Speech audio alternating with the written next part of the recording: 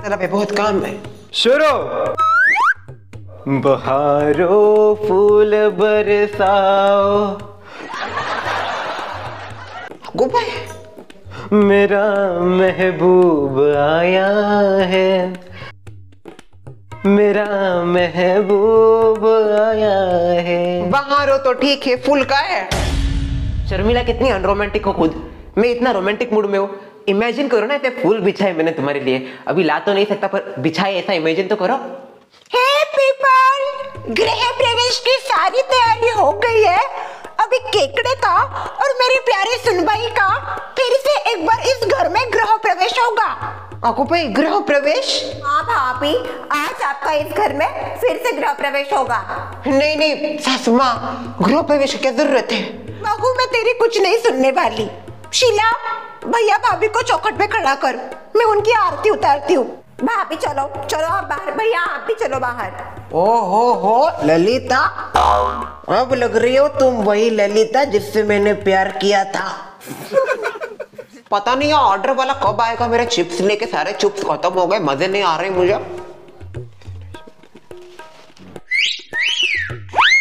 बात क्या कर रही हो इंटरव्यू आ रहा है। उसी की तैयारी कर रही हो। चार सालों से वही कर रहे हो ना? प्रिपरेशन इंटरव्यू की। एग्ज़ाम तो निकाल लेती हो इंटरव्यू में जाके अटक जाती हो। मुझे ऐसा लगता है ना, आप में कुछ कमी है। आपकी जबान बस सोसाइटी में चलती है, हमारे सामने। वहाँ पे जाके आपकी जबान को पता नहीं क्या हो जाता है। इंटरव्यू ठीक से दे नहीं पाती। मेरी जबान को छोड़ दीजिए और खुद का मुँह देखिए। दिन ब दिन बढ़ता ही जा रहा है। आप क्यों जलती हो मेरे मुँह के ऊपर? डायमंड फेस है मेरा। पूरी दुनिया में किसी का नहीं ऐसा फेस। और रही बात इसके बढ़ने की तो बढ़ने दो। जितना बढ़ना है उतना बढ़ने दो। आपके घर में तो नहीं घुस रहा ना? क्या पता एक दिन घुस जाए। हाँ तो उस दिन देख लेंगे। ओहो दोनों घर से बाहर निकाल दिया क्या घर से? मैं मेरी बहू का फिर से एक बार हमारे घर में गृह प्रवेश कर रही हूँ। गृह प्रवेश पूरी बाबा हाँ मिस ब्यूटीफुल वो बहू तीन चार दिन हमारे घर में नहीं थी। ये तीन चार दिन हमारे लिए मानो तीन चार साल जैसे बीते। पर अभी वो आ गई है। इसलिए मैंने ये सोचा उसका और मेरे बेटे का फिर से इस घर में ग्रह प्रवेश करके एक नई शुरुआत करते हैं। आपने ये करके मेरा दिल जीत लिया। मेरे घर आई मेरी प्यारी बहू। मेरी प्यारी बहू मेरी मैनर से मेरी ममता की मूरत। बहू अभी कलश को उलाट के घर के भीतर आ जा। ठीक है फिमा गृह प्रवेश एक बार ही होता है दो दो बार नहीं करते ऐसे। आपको क्या करना है? आप अपने काम से काम रखिए। ओए बॉयकट खबरदार। This is not boycott boycott ही है वो। देख देख तेरे भाभी के दो दो बार गृह प्रवेश हो गए। तेरा एक भी नहीं हो रहा। मम्मी ओए छुछुंदर मुखी औरत अपना मुँह बंद रख। भाभी रुकिए अब क्या हो गया? आप ऐसे घर में नहीं आ सकती। घर में आने के लिए सबसे पहले आपको नाम लेना पड़ेगा। नहीं नहीं मैंने शादी के टाइम ही नाम ले लिया। अभी नहीं लूँगी मैं। बार बार क्या है? भाभी अभी आपको फिर से गृह प्रवेश हुआ है। अभी आपको नाम लेना ही पड़ेगा। सब मेरे साथ बोलो भाभी को नाम लेना पड़ेगा। भाभी को नाम लेना पड़ेगा। बर भाई ठीक है लेती हूँ मैं नाम। चलो भाभी आपको नाम लेना पड़ेगा। भगवान विष्णु के सर पे होता है शेष। इनका नाम लेती हूँ दोबारा कर रही हूँ गृह प्रवेश। अरे वाह वाह वाह।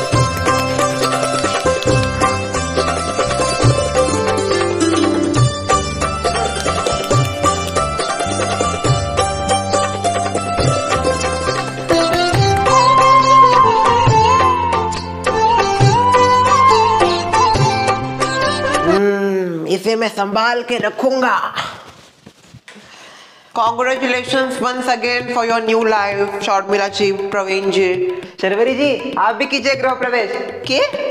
मेरा मतलब है आप भी आइए हमारे घर। ना ना आप कीजिए एंजॉय मुझे अभी काफ़ी ज़्यादा स्टडी करनी है। वो मेरा इंटरव्यू आ रहा है ना। Best of luck best of luck best of luck इस बार तुझे जॉब लग ही जाएगा। ये ले। धन्यवाद धन्यवाद। अभी आप आइए मेरे साथ। आप बैठे यहाँ पे। हाँ बुबी आज दिन भर आप यहाँ से कहीं नहीं हिलने वाली। ऐसा क्यों? क्यों क्या क्यों भाभी?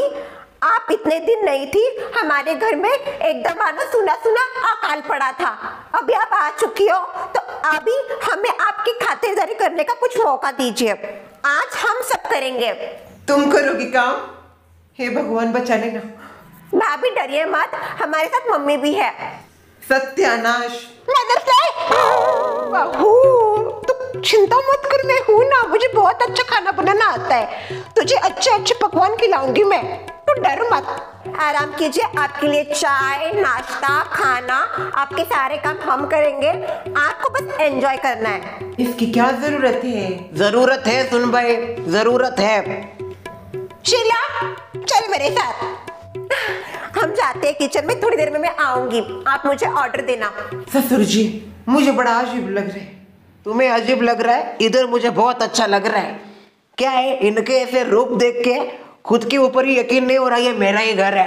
एक बात समझ में नहीं आ रही है सब अचानक पलट कैसे गए? वो कहते हैं ना, सुन भाई, जिस चीज़ की हमें सबसे ज़्यादा कदर होती है, उसकी कदर हम तब नहीं करते जब वो हमारे पास होती है।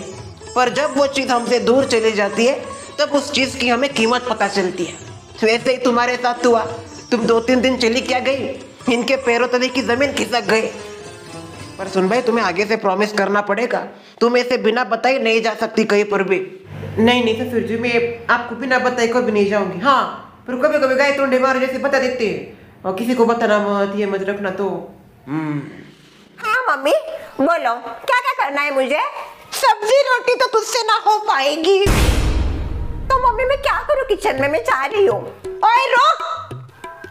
तू मुझे सब्ज़ी सब्ज़ी काट के दे। कम से कम वो तो कर। काट भैया। भैया को दो ना वो भैया कर सकते हैं। उसके लिए मैंने वेटर का काम रखा है। वो सब चीज़ें बहू को सर्व करेगा। हम दोनों बनाएँगे। ठीक है? नाक तो मत मोड़। कान के लिए दूँगी है कुछ काम का नहीं है। ये काम तो कर। बस सब करने के लिए जाके ठीक है। सबसे पहले मैं भाभी को पूछ के आती हूँ उनको क्या चाहिए? भाभी आप क्या खाओगी खाने में बता दो हमें। अभी मैं क्या दूँ? आपको जो पसंद है वो कीजिए मैं खा लूँगी। नो नो भाभी आपको बताना पड़ेगा। आपको ऑर्डर देनी है हमें हम आपके लिए बनाएँगे आप बताओ बेझिझक दो दो सुन भाई जितनी ऑर्डर देनी उतनी दो बिंदास बेझिझक। ललिता रानी बहुत दिनों बाद गई है किचन में पूरा पूरा फ़ायदा उठा उसका। दाल तड़का खाऊँगी मैं। कि दाल तड़का? अबे ऐसे लिखती हूँ इमेजिनेशन करके। और भाभी? शाम को खाऊँगी पनीर भुर्जी रोटी और पालक पनीर खाने की बड़ी इच्छा है। आज मैंने वैसे भी हरा हरा पहने ओके भाभी मैंने आपका लिख लिया है सब कुछ मेरे दिमाग में। ये तो नाटक था। मैं अभी जाती हूँ मम्मी के पास और बता देती हूँ क्योंकि मम्मी ये सब करने वाली है। क्या क्या बोला है तेरी भाभी ने? हाँ भाभी अभी खाएगी दाल तड़का और चपाती खाई भाभी ने। अच्छा दाल तड़का। दाल ही तो मम्मी, मुझे कुछ करना नहीं पड़ेगा। दाल के लिए क्या मुझे काटना है? कुछ नहीं।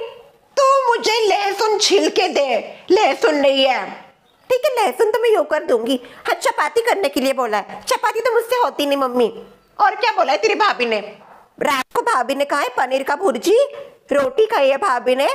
और रात को भाभी ने कहा पालक पनीर भी वो खाएगी। मैडम की कुछ ज़्यादा ही फरमाइशें है। मम्मी आप ही का प्लान था ये सब करने का। अभी अच्छे से करो नहीं तो मत करो। बस प्रवचन मत झाड़ शीला। जरा लहसुन छिला हाँ मैं काट देती हूँ लहसुन।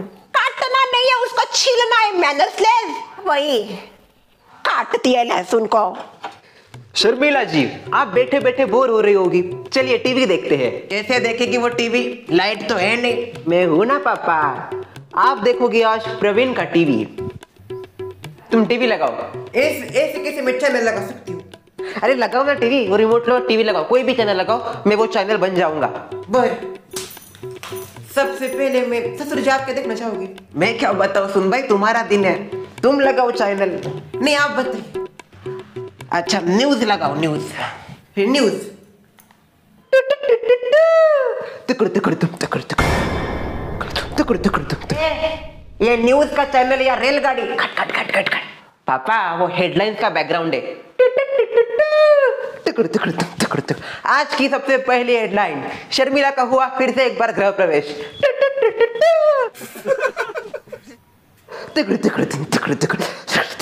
आज की दूसरी हेडलाइन शर्वरी जी का है इंटरव्यू बदल देते। पतलो पतलो पतलो मूवी लगाते कुछ कुछ होता है।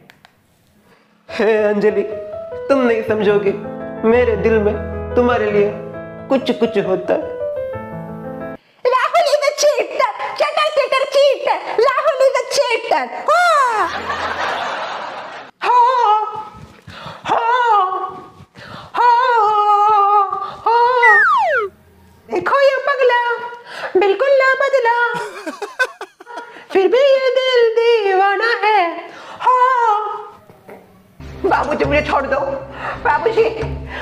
मुझे छोड़ दो। ओ कुछ कुछ होता है मैं दिल वाली दुल्हन है कहाँ से आ गई? ये प्रवीण का मिक्सचर है शर्मिला तुम नहीं समझोगी। बाबूजी छोड़ दो मुझे छोड़ दो बाबूजी। वो जा रहा है गाड़ी में बैठ के। मुझे भी गाड़ी में जाना है। छोड़ दो बाबूजी। सुन भाई पतलो इसको। नहीं नहीं अभी तो मेन सीन है ना बाबूजी छोड़ देंगे। जा सिमरन जी ले अपनी ज़िंदगी। निकल भाग फिर मत आ घर आपका एहसान कभी नहीं। निकल। मैं आपका एहसान कभी अरे निकल। मैं आपका एहसान कभी अरे निकल। बाबूजी अरे मेरी ट्रेन छूट गई। बोल रहा था मैं निकल। रह गई तू स्टेशन पे अब नहीं आएगी कोई गाड़ी। हाँ, राहुल सच में चीटर निकला। अकेले चला गया। ये टीवी देखने से अच्छा सुन भाई थोड़ा सो लेती। कम से कम ये सब तो देखना नहीं पड़ता। अब उसको नींद भी नहीं आएगी रात को। ऐसा सब किया है तूने। चलो बहुत देर हो गया और किचन से कुछ आवाज़ भी नहीं आ रही। मैं जरा जाके देखती हूँ क्या क्या किया है। सुन भाई बैठो ना तुम। नहीं नहीं ससुर जी मुझे एक बार जरा जाके देखने दीजिए। थोड़ा अजीब फील हो रहा है मुझे। नहीं सुनेगी। सासू